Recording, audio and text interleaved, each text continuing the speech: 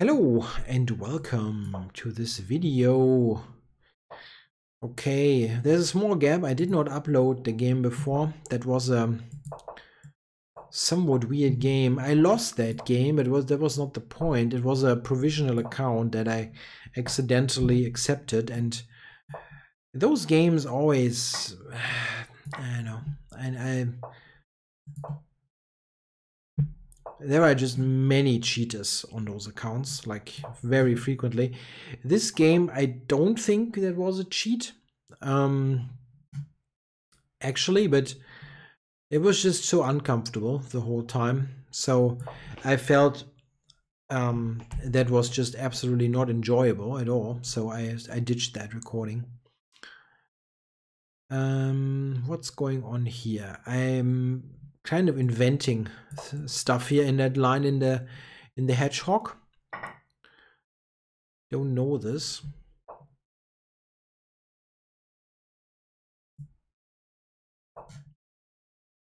Yeah, I mean he won't run the rook, I guess. But centralizing the queen could be good anyway.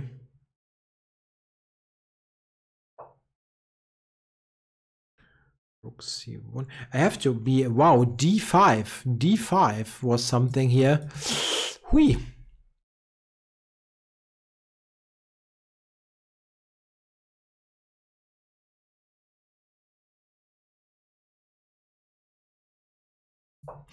And now d5 I can take with the knight. Okay. Mm, now it's a threat again.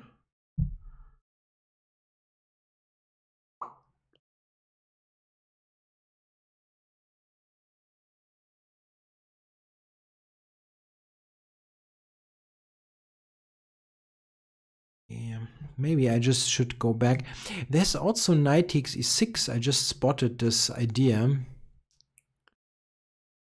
But it should never lead to anything, right? No. Yeah, come on. I don't want to be in that tactic the whole time. It would be really annoying. Yeah, I'm not a fan of the position here. I somehow play d4 while I was telling the story about the game before. And uh, that is not actually a line that I play. So I'm playing something that I don't really know. Usually play with b3 there. Not quite sure what I was thinking. Here black is certainly uh, okay something like d5 now is okay, but not the only way to, to do it. He's got some, oops, some pressure here on that pawn. Mm, that's a good move. Um,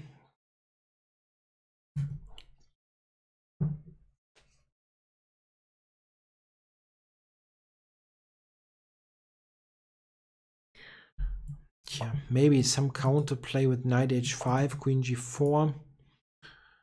Okay, I can take on g7 here, right?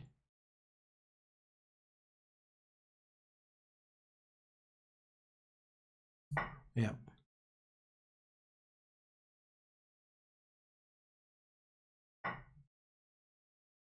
Didn't even think about it. I mean, maybe everything else was lost as well, but okay, king h6 is the only move that wasn't totally clear to me. I, I mean, I, I, always have a draw, so this is um, this is the thing, but I should win somehow, right? King h6, queen f6, check, king takes h5. Where is the mate? h3, g4 is the mate. h3, g4. Check, check, check.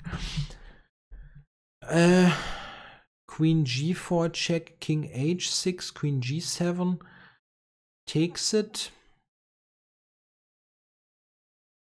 Hmm. Where's the mate? I'm just a tactical idiot. Queen g4, king h6. This.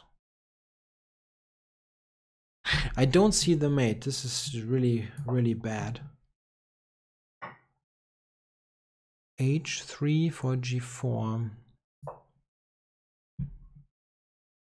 I'm fairly certain that this is winning quite quickly, but I thought I should have a checkmate and I didn't see it.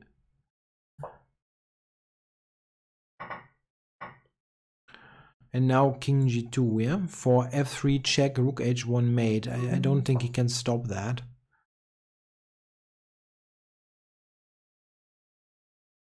Hmm.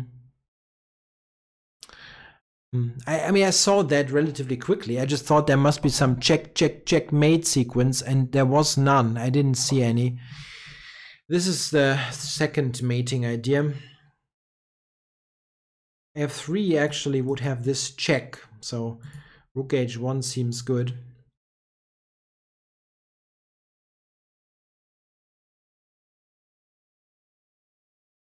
Yeah, that is mate next, right? f3 mate or rook h4 mate. Yeah, that was a strange game. I think um, I was really not in good shape. Like here, the position is just um, very comfortable for black. I want to check this d5 uh, tactic. Did I miss that early on? Okay, I played this. And now I played queen e4, yeah, d5. Did I miss that? d5. I can take with a knight, yeah, okay. That that wins wins stuff. Okay. So this and then knight f4, knight f4, now d5 I can take with any of the two knights. But there's really nothing, there's nothing special. Um, eh, quite the opposite. I think black is fine if he goes b5 now or the way he played also seemed perfectly reasonable. Like this is completely okay. And now bishop a3 is not really good. I mean, not really good is wrong. I mean, it, it's awful because I can take on g7. Yeah. Yeah, that's a bad prophylactic mindset in a way because the thing is, from a structural point of view, black is doing really well. Like, if you think about an end game, they would just pile up on the A file on that pawn and have the better prospects. The only real idea that I have is that counterplay on the on the king based on those three pieces. So he should rather think about a prophylactic move and stop potential attacks. And um, bishop a3 is completely the opposite, removes a key defender. Yeah, I was still surprised that he took so quickly on uh, on g7. I mean, it's in a way the only practical move, uh, sure, but still. So it's mate in 10. Let's see if I found the quickest one or this, this. So g4 is quicker and then king h1. as I see, but this is also, it seems a forced mate, so I didn't do it so terribly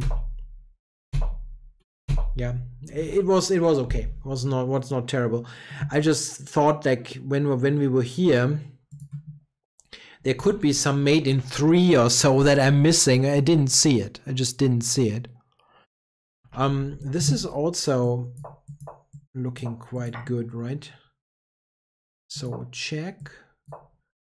And then h3 for this mate okay this is also quite quite nice or check on h7 sometimes, right? Like if, if he does that, I, this is also made silly. This is not covered actually. So there's only bishop c1. I see that bishop c1, which which I just take right, and then this is the quickest mate also quite fun. Yeah so this is the thing yeah. Here black should be aware that he's much better from a strategic point of view and just has to stop my counter attacks yeah and and tries yeah and um, a move like rook d8 i mean the, the engine finds a couple of draws which is kind of believable if you uh, this kind of thing i would have happily played yeah here white would even win but king h8 and now just um, yeah irritate uh, black here on that side of the board. Okay guys thanks for watching